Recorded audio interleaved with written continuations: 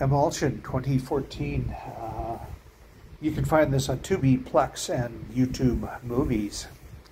So this guy, he's uh, with his wife, and uh, he goes to make a phone call, and uh, he never gets through to the person who's on the he's supposed to be phoning. He gets back, and his wife is gone. He doesn't know where she's gone, right? So he spends the next year looking for her. They jump forward a year. He's working in the car park that she disappeared from as a security guard, even though he's dressed up in these really fancy clothes, right? That he doesn't know who gave him the fancy clothes, by the way. He thinks they just showed up at his doorstep. So he runs into somebody who gives him a little bit of a lead, you know, and long story short, he ends up finding this reel of film that has him and his wife, uh, where they first met on a bench. Uh, and she's talking about his clothing and asking him where he got it and all that stuff.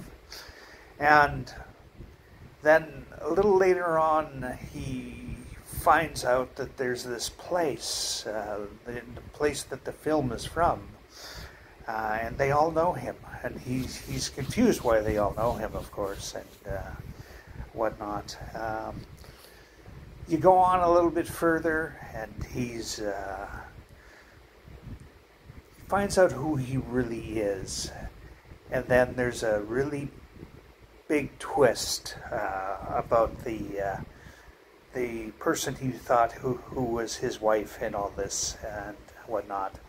Uh, there's the twist when he finds out who he really is. And then there's a twist after uh, what he does to her. Uh, it's uh, a little bit evil, uh, but it's it's she's not harmed, really harmed. But yeah, I'm sure it's going to mess her up a little bit psychologically when she gets out of this. Anyways, um, not a bad film. I, I, give it 7 out of 10, even though I'm pretty sure most people are going to not give this even a pass. I don't know. I don't remember what it was on IMDb, but yeah, I, I liked it. Uh, it was really confusing. You really had to pay a lot of attention, and it kept you guessing the entire time. 7 out of 10.